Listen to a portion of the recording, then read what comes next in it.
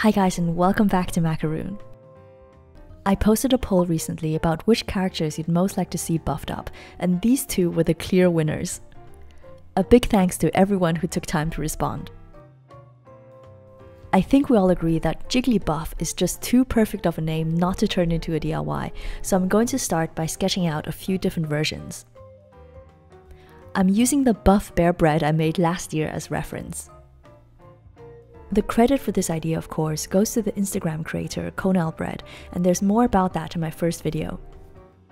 I'm mostly playing around with the body shape here because Jigglypuff is completely round, which makes it a bit more challenging to fit all the muscles into place. Once I'm happy with the design, I'm going to make a model of the squishy using polymer clay. One thing that an art teacher told me once is that if you can draw a shape, then you can also sculpt it. So if you feel intimidated by creating a three-dimensional shape, then simply sketch it out a few times. If you have a 2D version in front of you, then it's surprisingly easy to create a 3D one.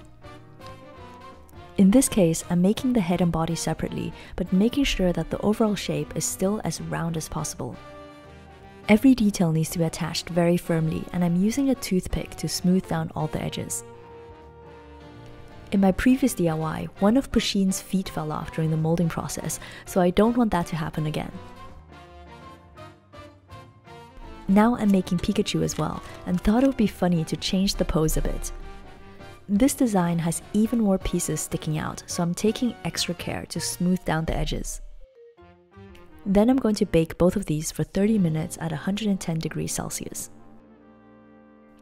I'm using my usual method for silicone putty, which I find works really well for picking up all the details without air bubbles. I'm pressing the polymer clay model sideways into a ball of putty and then carefully compressing it onto all sides.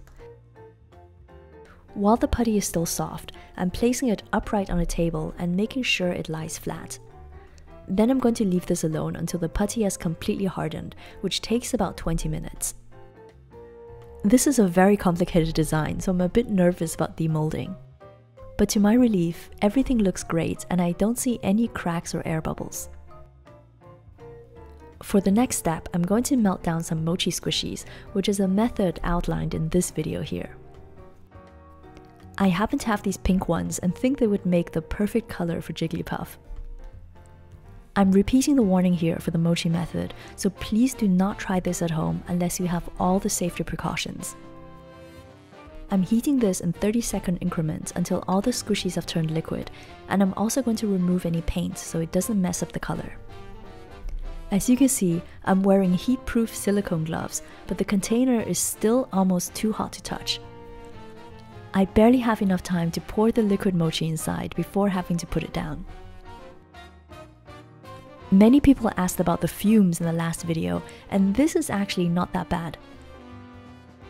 There's a slight chemical smell, but it's far less offensive than Plastisol, which is a melt and pour squishy resin that I tried out in this video. I obviously had all the windows open when doing this and made sure that everything was aired out afterwards. Melted mochi squishy hardens quite quickly, so I can start demolding this once the outside no longer feels warm. Two things I like about this method is that the final texture is always perfect and the material doesn't stick to the mold. This one pops out perfectly and the color looks just like Jigglypuff. Next, I'm going to add all the details using acrylic paint.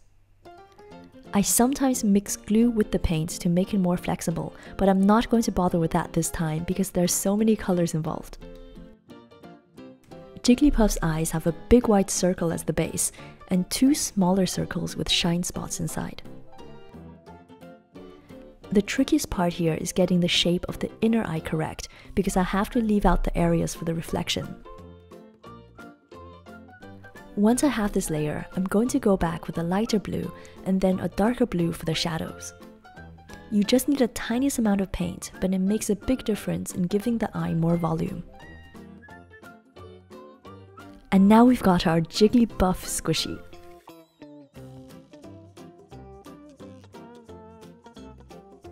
Now let's move on to Pikachu, and this mold also turned out very well. I'm just happy that no pieces of the polymer clay broke off during molding. This time I'm going to use Sophie and Toffee squishy gel for the inside. The advantage of this is that it's transparent, so you can combine it nicely with colors and glitter. From experience, this type of very delicate glitter flakes work best in squishies. It's light enough to be suspended throughout the gel and it doesn't all fall to the bottom.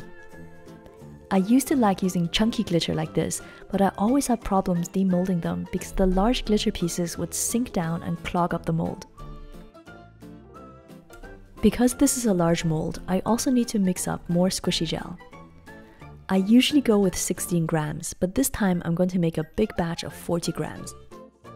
I'm also adding a bit of Sophie and Toffee squishy coloring to give it a yellow tint, and then finishing up with an iridescent orange glitter. It turned out that I did make a bit too much, and I had enough left over for another buff Pusheen.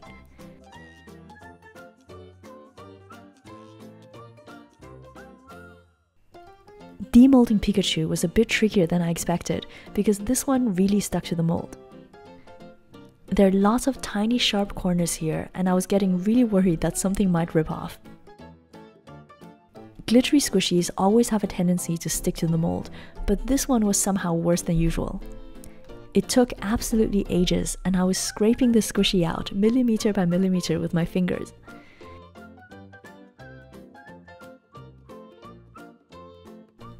It finally came out in one piece and actually looks really good. I don't think it was due to the glitter because Pusheen was made using the exact same batch of gel and this one came out without any problems. I think it was just the shape of the mold itself or maybe something with the silicone putty. For the final step, I need a nice facial expression, and I'm getting some inspiration from this great Instagram account called The Daily Pikachu.